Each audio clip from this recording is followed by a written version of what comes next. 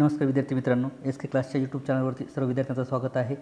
मागील व्हिडिओमध्ये आपण लेसन सेकंड म्हणजे science सेकंडमधला lesson second life processes of living organism part first याची एक्झरसाईज कंप्लीट केली. ज्या विद्यार्थ्यांनी ती बघितली नसेल त्यांनी ती बघून घ्यावी. त्याची लिंक डिस्क्रिप्शन बॉक्समध्ये अवेलेबल आहे. या अगोदरही काही सायन्स फर्स्टमधलेही आणि सायन्स सेकंडमधला फर्स्ट लेसन याची एक्झरसाईज कंप्लीट झालेली आहे. तर त्याची ही लिंक तुम्हाला डिस्क्रिप्शन बॉक्समध्ये मिळेल. तर त्या ठिकाणी तुम्ही लिंक क्लिक करून तुमची एक्झरसाईज कंप्लीट करू शकतात. ओके तर आज आपण बघत आहोत lesson third science सेकंडमधला lesson third life processes of living organism part second याची पूर्णपणे एक्झरसाइज आपण बघणार आहोत. ओके चला तर सुरुवात करूया आपण. तर फर्स्ट क्वेश्चन दिलेला आहे या ठिकाणी. Complete the following chart okay asexual reproduction आणि सेक्शुअल रिप्रोडक्शन हे दोन बॉक्सेस देण्यात आलेले आहेत. दोन कॉलम्स आहेत आणि आपल्याला fill in the blanks type question complete करायचा आहे. तर ह्या ठिकाणी reproduction that occurs with the help of म्हणजे एक पॉईंट त्यांनी दिलेला आहे त्याच आधारावर आपल्याला त्याचा डिफरन्स सेक्शुअलमध्ये लिहायचा आहे. त्याच पद्धतीने सेकंड पॉईंट सेक्शुअलचं दिलेलं आहे त्याच आधारावर असेक्शुअल रिप्रोडक्शनचा आपल्याला सेकंड पॉईंट लिहायचा आहे. ओके तर बघूया आपण असेक्शुअल रिप्रोडक्शन आणि सेक्शुअल रिप्रोडक्शन यामध्ये काय साम्य आहे. तर यामधील डिफरन्स कशा पद्धतीचा आहे तर आपण इथे सुरुवात करूया. ठीक आहे? तर त्याच्या ॲन्सरमध्ये बघा या ठिकाणी ब्लॅक जे दिलेलं आहे ते पुस्तकात प्रिंट करून दिलेली आहे आणि त्याचे ॲन्सर्स आपण पर्पल कलरमध्ये दिलेलं आहे. तर असेक्शुअलमध्ये आहे दिलेलं की reproduction that occurs with the help of somatic cells okay somatic सेल्सचा यूज करून जे रिप्रोडक्शन होतं त्याला म्हणतो आपण असेक्शुअल रिप्रोडक्शन ओके तर ह्या ठिकाणी सेक्शुअल रिप्रोडक्शनमध्ये sexual रिप्रोडक्शनमध्ये that occurs with the help of germ cells okay germ सेल्सचा यूज करून म्हणजेच गॅमेट्स ओके जर्म सेल्सचा यूज करून म्हणजेच काय? तर गॅमेट्स याचा वापर करून जे रिप्रोडक्शन होतं त्याला आपण म्हणतो सेक्शुअल रिप्रोडक्शन म्हणून ज्यावेळी वेळेस तुम्हाला लक्षात येईल की असेक्शुअल रिप्रोडक्शन तर त्यावेळेस तुम्ही सोमॅटिक सेल लक्षात ठेवायचं आहे. आणि ज्यावेळेस सेक्शुअल येईल त्यावेळेस तुम्ही जर्म सेल्स लक्षात ठेवायचं आहे. ओके आणि सेकंड पॉईंटमध्ये त्यांनी दिलेला होता कि male and female parents are necessary for sexual reproduction right? Male and female both parents are required for sexual reproduction. But in asexual reproduction not both are required okay? The only one parent is necessary for asexual reproduction okay? Only one parent is necessary for asexual reproduction. Third point is given. This reproduction occurs with the help of mitosis only okay हा point लक्षात ठेवा. Asexual reproduction मायटोसिसने होतं. This reproduction occurs with the help of mitosis और meiosis okay sexual reproduction हे mitosis आणि meiosis यांच्या कॉम्बिनेशनने होतं. ओके फोर्थ पॉईंट आहे त्यांनी दिलेला की new individual form by this method is genetically different from parents okay जे मेल आणि फिमेल यांच्या दोघांच्या कॉम्बिनेशनपासून नवीन इंडिव्हिज्युअल तयार झालेलं आहे. म्हणून ते काय आहे? तर कम्प्लिटली मेलप्रमाणे किंवा कम्प्लिटली फिमेलप्रमाणे असं नाही म्हणता येणार तर ते डिफरंट आहेत.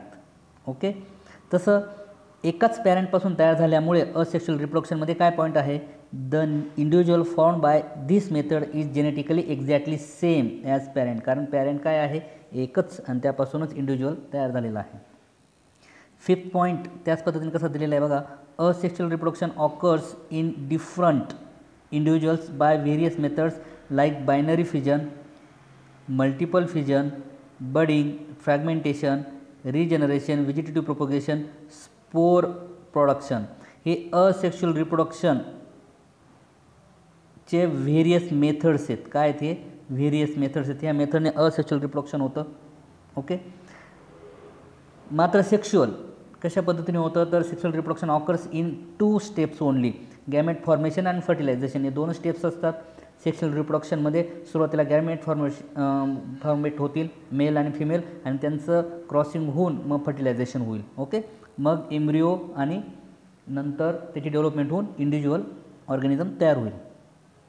ठीक आहे नेक्स्ट क्वेश्चन आहे second fill in the blanks तर या ठिकाणी फिल इन द ब्लँक्समध्ये क्वेश्चन आहे दिलेला त्यांनी in humans sperm production occurs in the organ कोणत्या ऑर्गनमध्ये तर त्याचा आन्सर आहे testes okay in humans dash dash chromosomes is responsible for maleness that is answer is Y chromosomes in male and female reproductive system of human dash dash gland is same that is bulbourethral gland is same okay in male and female actually in book that is not answer is given. कोणतं gland ही same नाही आहे right? परंतु दुसऱ्या बुक्सच्या रेफरन्सने जर आपण बघितलं तर या ठिकाणी एक पॉईंट नोंद केलेला आहे. The human body contains many reproductive glands but in males the bulbourethral glands are similar to the Bartholin gland in females. म्हणजे फिमेल्समधलं बर्थ्रोलिन ग्लँड आणि मेलमधला बल्बोरोथ्रल ग्लँड हे दोन्ही काय आहेत? सेम आहेत. ओके? ठीक आहे अजून त्याच्याविषयी माहिती दिलेली आहे पण तेवढी इम्पॉर्टंट नाही आहे आपल्याला. पण आपण bulbourethral gland is same. Okay? C D दिलेला आहे implantation of embryo occurs in dash dash त्याचा आन्सर आहे uterus dash dash type of reproduction occurs without fusion of gametes कोणतं? तर ते आहे असेक्शुअल असेक्शुअलला गॅमेट्सची फ्युजन होण्याची आवश्यकता नाही कारण दोन पॅरेंट्सची आवश्यकता नसते. ठीक आहे एफ आहे body breaks off into several fragments and each fragment starts to live as a new individual this is dash dash type of reproduction त्यालाच आपण काय म्हणतो? तर फ्रॅगमेंटेशन असेक्शुअल त्यालाच फ्रॅगमेंटेशन टाईप ऑफ रिप्रोडक्शन असं म्हणतो आपण.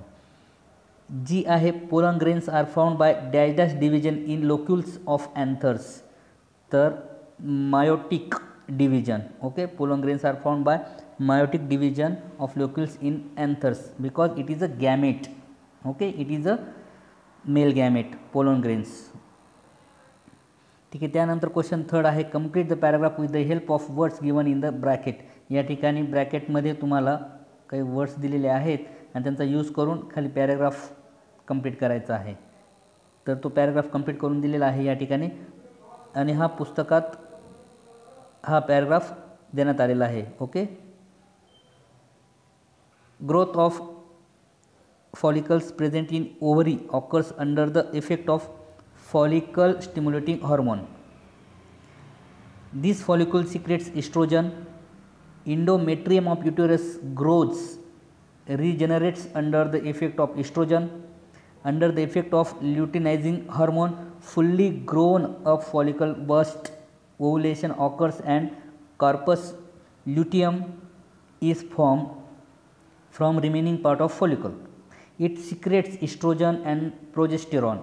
Under the effect of these hormone, glands of endometrium are activated and it becomes ready for implantation. Okay हा पॅराग्राफ पूर्ण बुकमध्ये दिलेला आहे तुम्ही तिथे चेक करू शकता क्वेश्चन फोर्थ आहे answer the following question in short त्यामध्ये फर्स्ट क्वेश्चन आहे answer explain with example type of asexual reproduction in unicellular organism तर विद्यार्थ्यांनी जे काही ब्रॉड क्वेश्चन्स आहेत ते ब्रॉड क्वेश्चन्स अशा पद्धतीने मॅनेज करायचे आहेत की जेणेकरून तुम्हाला ते लर्न करण्याची आवश्यकता पडणार नाही.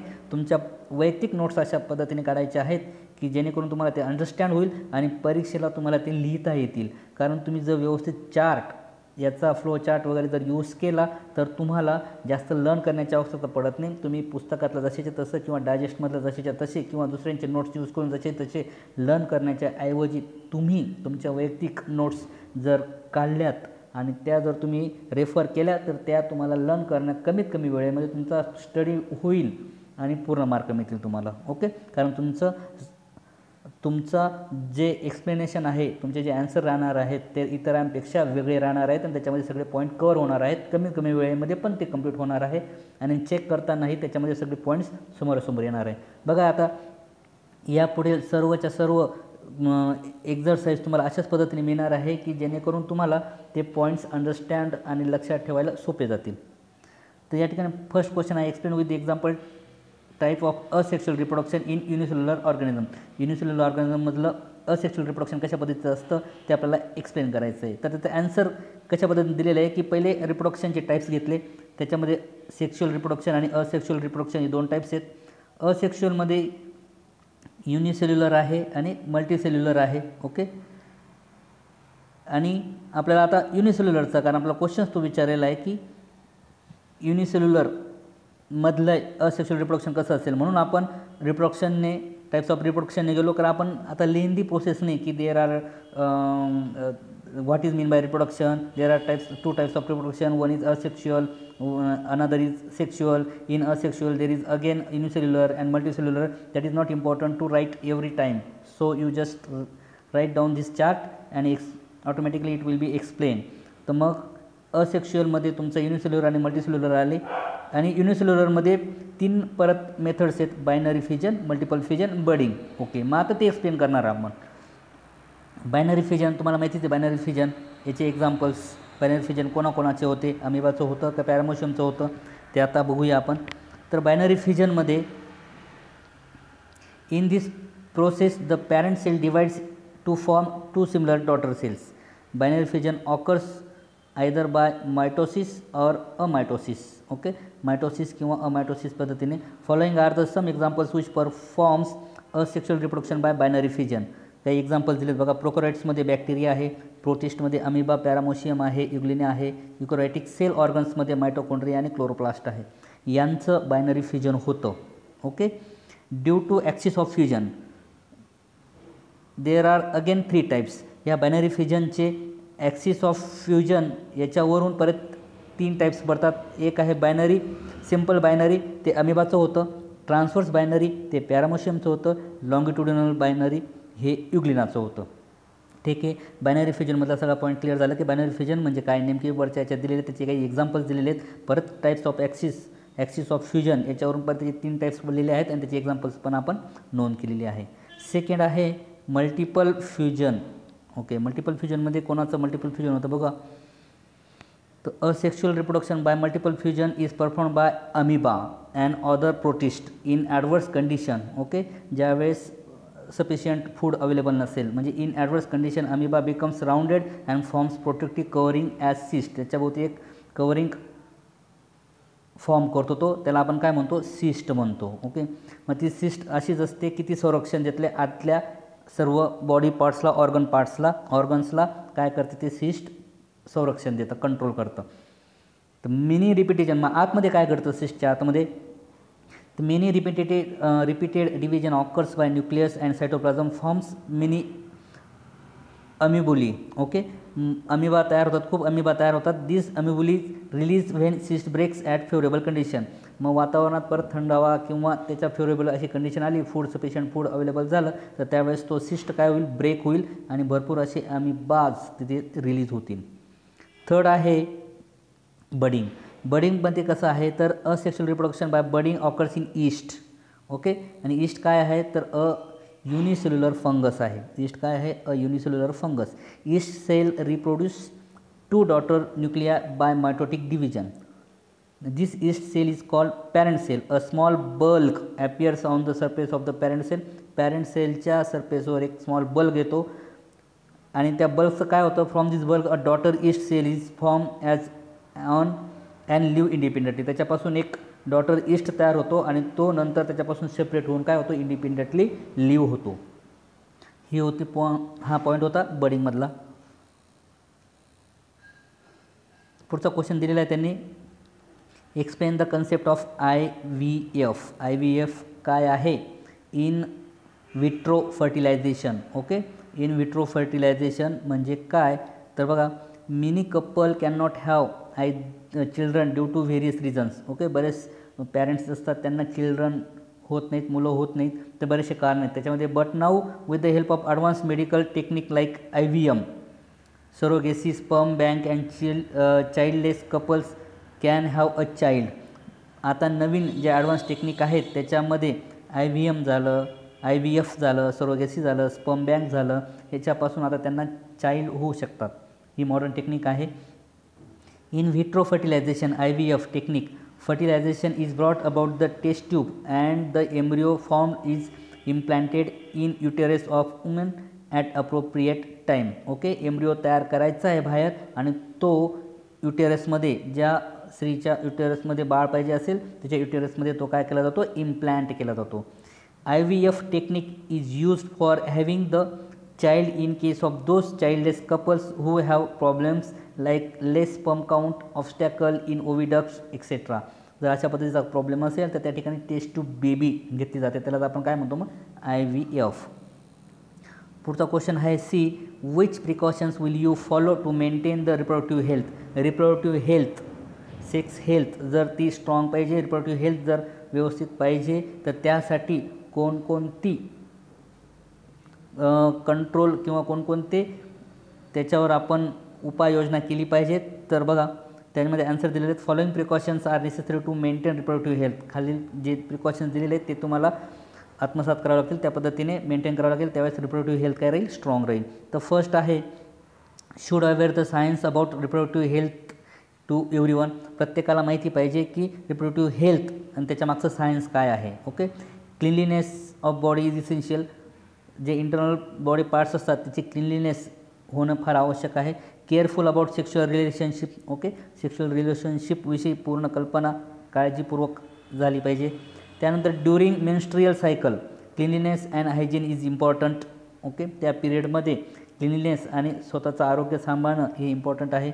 If necessary then must take medicines without social custom traditions literacy and shyness यांचा आपल्या यामध्ये यां शायनेस टाळून इलिटरसी म्हणजे असाक्षरता न दाखवता त्यावर आपण वेळोवेळी मेडिसिन्स किंवा डॉक्टरांशी सल्ला मसलत केली पाहिजे. त्यानंतर सिक्स आहे special personal hygiene is important for every one प्रत्येकाने स्वतःची पर्सनल हायजीन स्वतःचं वैयक्तिक आरोग्य सांभाळलं पाहिजे.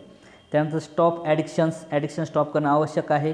जसं अल्कोहोल झालं ड्रग्ज झालं टोबॅको झालं ओके या पद्धतीचे ॲडिक्शन स्टॉप करणे आवश्यक आहे. हे पॉईंट्स विद्यार्थ्यांनी लर्न करण्यासाठी इझी आहेत आणि लक्षात ठेवायचे आहे. डी आहे what is menstrual cycle describe it in brief menstrual cycle म्हणजे काय? तर त्याविषयी आपल्याला ब्रीफमध्ये एक्सप्लेन करायला लावलेलं आहे. तर डेफिनेशन बघा पहिल्यांदा. Female reproductive system undergoes some changes at puberty and those changes repeat at the interval of every twenty eight thirty days okay these changes changes are called menstrual cycle. Cycle त्यालाच आपण काय म्हणतो? Menstrual cycle ठीक? ती दर महिन्याला फिमेलमध्ये दर महिन्याला येत असते.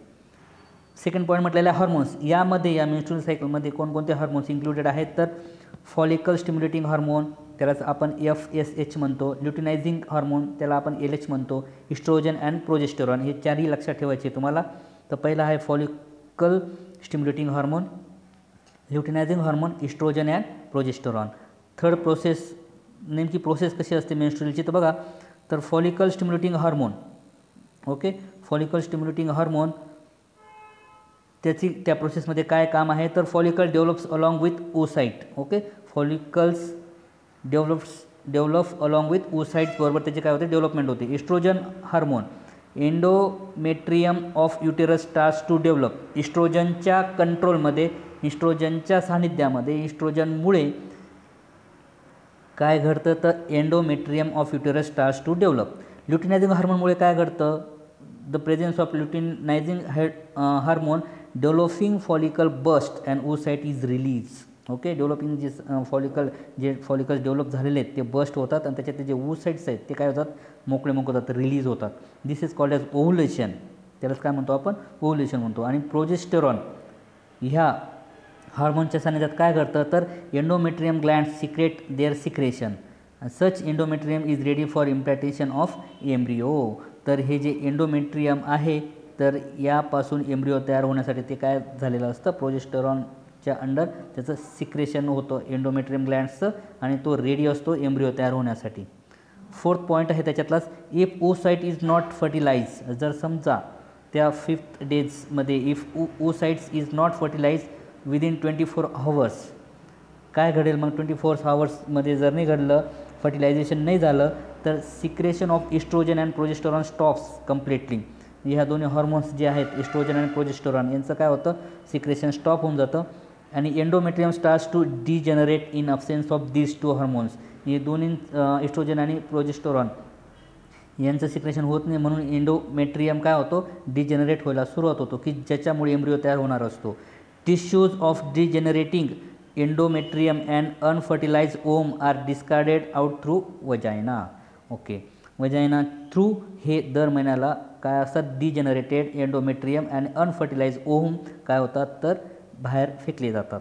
Excretion सिस्टीममार्फत this is a accompanied with continuous bleeding हेच काय होतं? तर कंटिन्युअस ब्लिडिंग होत असते वुमेनला आणि त्याच्यामध्ये bleeding continuous approximately for five days किती दिवस चालते ती?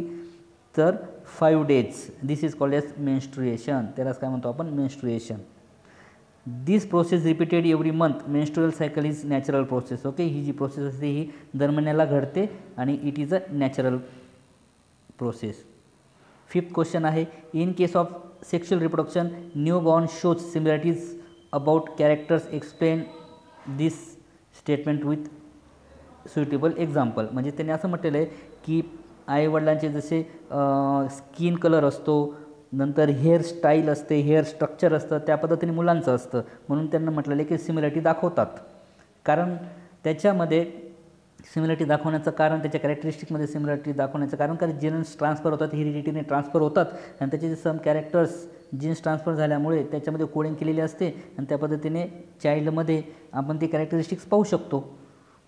तर यामध्ये मेल पॅरेंट्स आणि फिमेल पॅरेंट्स दोघांचं इन्क्लुडेशन आवश्यक असतं. आणि त्याच्यामुळे दोघांचे कॅरेक्टर्स तो दाखवणारच आहेत.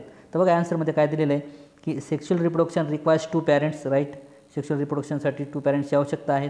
तर त्याच्यातला पॉईंट घेतलेला आहे. Male parent and female parent both takes parts in sexual reproduction right the male gametes and female gametes fuses and form zygote okay male gamete आणि फिमेल गॅमेट यांचं फ्यूज होऊन जायगोट तयार होतं. जायगोटचं पुढे डेव्हलपमेंट होते आणि एम्ब्रिओ तयार होतो आणि एम्ब्रिओचं पुढे डेव्हलपमेंट होऊन काय होतं तर न्यू इंडिव्हिज्युअल न्यू ॲनिमल तयार होतो.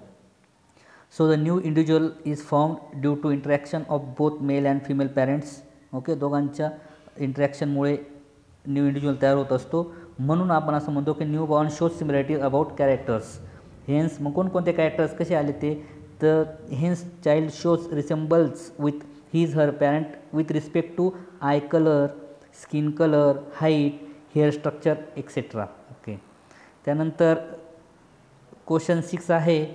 हा sketch and level diagrams human male reproductive system नंतर human female reproductive system flower with its sexual reproduction organs menstrual cycle ही जी फिगर्स आहेत हे मी तुम्हाला सोप्या पद्धतीने नेक्स्ट व्हिडिओमध्ये एक्सप्लेन करून देणार आहे. जेणेकरून तुम्ही दोन ते तीन वेळेस त्याची काढण्याची प्रॅक्टिस केली तर तुम्हाला ती ड्रॉ करता येईल. ओके त्यावरून तुम्हाला एक्सप्लेनेशन पण देता येईल. Give the names question seven आहे. तर यामध्ये फर्स्ट क्वेश्चन आहे hormones related with male reproductive system male reproductive सिस्टीमचे रिलेटेड जे हार्मोन्स आहेत ते कोणकोणते आहेत? तर follicle stimulating hormone luteinizing hormone testosterone हे हार्मोन्स आहेत. त्यानंतर बीम विचारलेलं आहे hormones secreted by ovary of female reproductive system तर कोणते आहेत ते? इस्ट्रोजन अँड प्रोजेस्टेरॉन हे दोन हार्मोन्स आहेत. टाईप्स ऑफ ट्विन्स ट्विन्स कोणते टाईप्सचे आहेत? तर एक आहे monozygotic twins and dizygotic twins any two sexual diseases तर त्याच्यामध्ये आहे गनोरिया आणि सिम्पाईल्स ओके किंवा syphilis methods of family planning. त्याच्यामध्ये कोणकोणत्या मेथड्स येतात फॅमिली प्लॅनिंगमध्ये? तर ओरल पिल्स आहेत कंडोम्स आहेत आय यू डीज आहेत. आय यू डीज म्हणजेच इंट्रा युटेरिन डिव्हाइस ज्याच्यामुळे काय होतं तर क्रॉसिंग होत नाही आणि फर्टिलायझेशन होत नाही. तर ह्या त्या मेथड्स आहेत फॅमिली प्लॅनिंगसाठी. त्यानंतर एट क्वेश्चन आहे gender of child is determined by male partner of couple explain with reason whether this statement is true or false हा पॉईंट आहे. हा पूर्ण रिडक्शन झालेला आहे तुम्हाला ह्या वर्षासाठी. ओके ह्या वर्षासाठी तुम्हाला हा नाही आहे.